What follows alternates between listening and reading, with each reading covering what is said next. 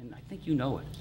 Ned, Dan claims that uh, he created 5,000 jobs as mayor of Stamford when the Department of Labor statistics clearly show the city of Stamford has lost uh, something along the lines of 8,000 jobs during that period.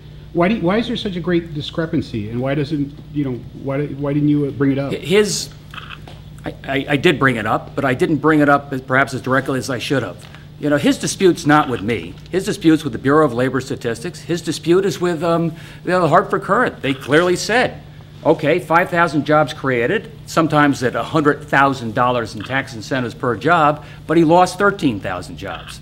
I thought the Hartford Courant cartoon said it pretty well. 5,000 minus 13,000 doesn't equal 5,000. Ned, you It didn't work in Stamford, it hasn't worked in Connecticut. You need a new job creation strategy. And I hope I made that case today, that we offer a very different way of creating jobs in the state, and the governors can make a difference.